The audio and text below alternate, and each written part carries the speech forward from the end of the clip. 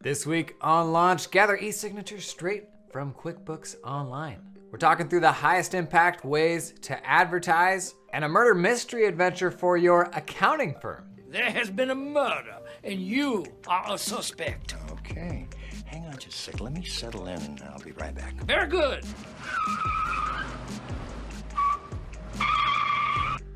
Whoa, this is gonna be a fun one. Come on in and get some launch.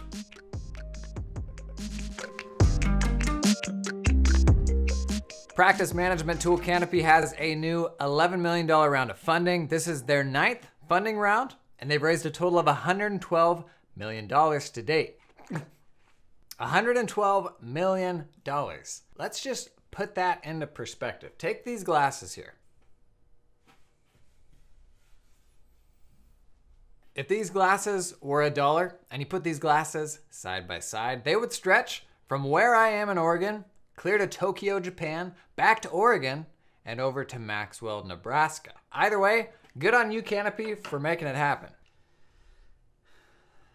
So, what are they going to do with the money? In an interview with Accounting Today, Canopy CEO and surname enthusiast Davis Bell said they'd be using the money to double down on refining the existing product. It sounds like they're moving up market to the 11 to 50 employee firm size and making the product more robust for those larger firms. Now, if you aren't familiar with Canopy, they're among the OG cloud based practice management offerings. They've got project management, time and billing, client portal, all the goodies you'd expect, but they've also had a really unique tax resolution offering as well. Basically, a tool that navigates you through best practices for responding to different types of notices. Now, if you recall, back in 2019, Canopy launched their own tax prep software. It was huge news because, well, let's be real, tax software is shit.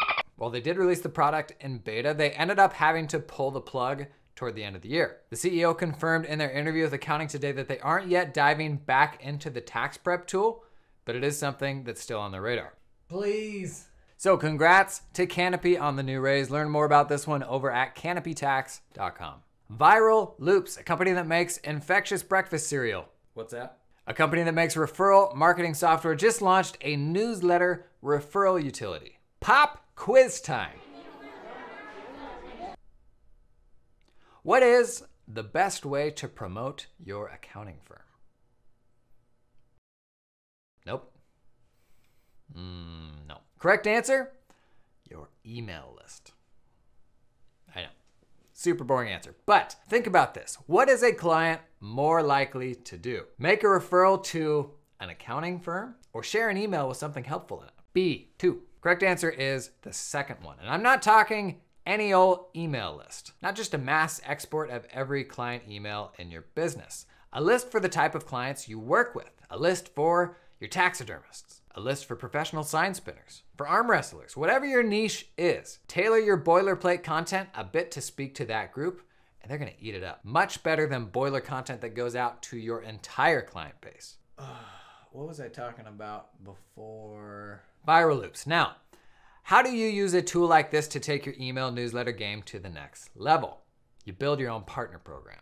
Track referrals within your newsletter and offer exclusive perks for your champions, the clients referring new people your way. A newsletter referral system is a really easy way to do this. It's a low risk way for your clients to share your content with their peers. And from a technical standpoint, it's super easy for you. Viral Loops will connect with virtually any email marketing platform. Lets you manage these referrals across multiple different newsletters if you've got several niches, and you can build out totally automated rewards and giveaways. Build out an entire loyalty program to incentivize sharing with your peers. Viral Loops specifically, this one starts out at $34 a month. Check it out at viral-loops.com. Big news here from our fearless accounting leaders. For the first time, e-signatures are built into QBO. It's a partnership with DocuSign to let you send out quotes and collect signatures, which seems pretty smart to me. We learned about this one from a recent blog post, and they've even put out a YouTube video to walk you through setup.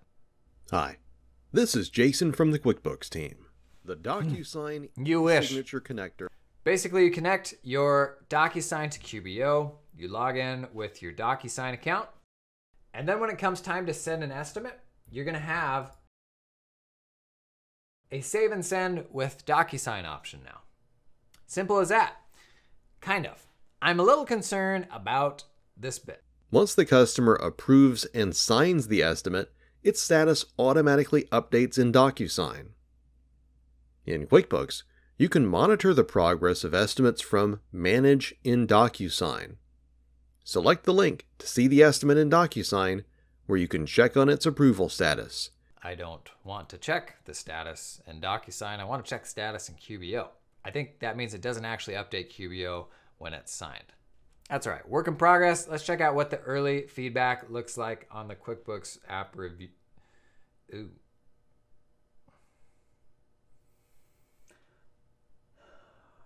No one but an admin can use it.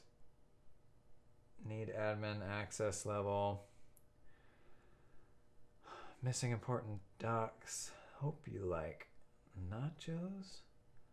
What does that? Okay, so definitely a work in progress. I do like the idea of being able to push out e-signatures from the accounting software, but see if you notice. And send with DocuSign. Did you hear it? And send with DocuSign. One more time. And send with DocuSign. The button doesn't say send for e-signature. It says send with DocuSign. And you don't get your brand name in QuickBooks UI just for being a swell e-signature solution. Now what would be better? How about the button says send for e-signature and let me connect my own e-signature provider. Just like you could bring your own payment processor for invoices or your own payment issuer for accounts payable. Oh, they don't. So you can't so to take this one for a spin, grab that DocuSign account and head over to the QuickBooks App Store. Let's be real. Accountants are not naturally drawn to culture building. Hey. Sometimes you have to manufacture the fun. So check this one out. A murder mystery game called You Dunnit. And it actually works either over Zoom or in person. Basically, you answer some prompts. Where's my plant?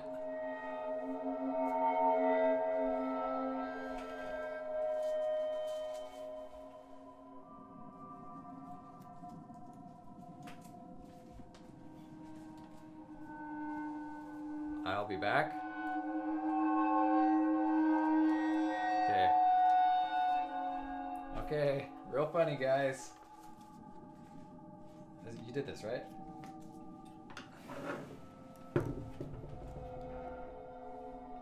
Basically, you answer some prompts to customize your murder mystery game for you and your team. Takes less than 15 minutes to set up, and everyone can play on their phone or via physical, like paper printouts. Seems like a great way to try to build some culture.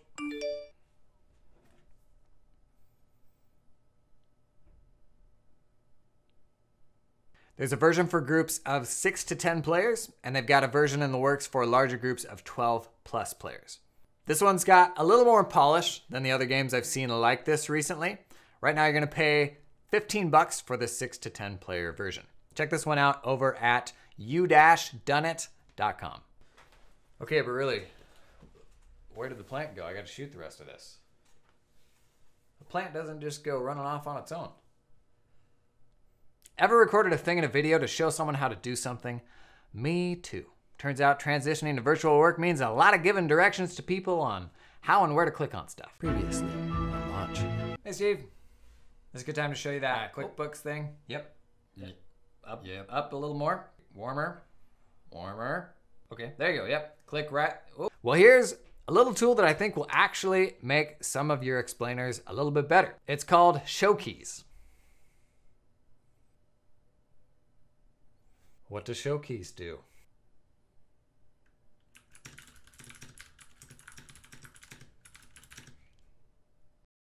Okay.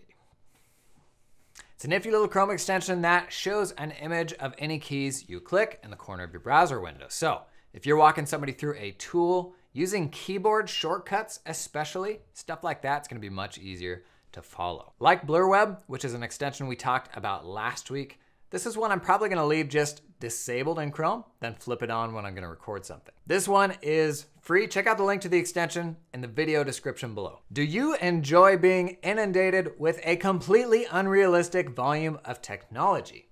Of course you do. You're watching launch, right? Well, I've got bad news. It's gonna get worse before it gets better. The rate at which new software is rolling out is just gonna keep increasing, making discovery harder by the day. Whatever will we do? Well, here's one tool that can help. G2 just received a fresh round of funding, and it's my favorite place to benchmark mature SaaS apps against each other. Here at Launch, we talk about new tech, but what if you need a library of what's already out there and want to see what people are using? They have categories for every type of software imaginable. Check this out. Wow. Lots of categories, right? But wait, there's more. Every single one of these has a load of subcategories. And it's a handy way to quickly take stock of the leading tools in a space. Seems neat, but can you trust it? Let's put it to the test. Best accounting software. I'll be the judge of that. What do we got here? QuickBooks Online, first one, four out of five. QuickBooks Desktop, 4.3 out of 5. Hot take, G2.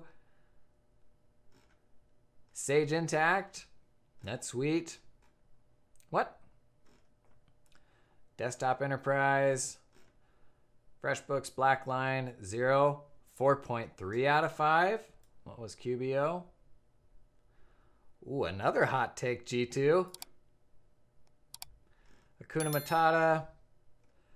QBO Advanced. 4.5 out of 5. Who's happy to have to upgrade to QBO Advanced? Passes the sniff test for me. Congrats to G2 on the raise. Check this one out over at g2.com.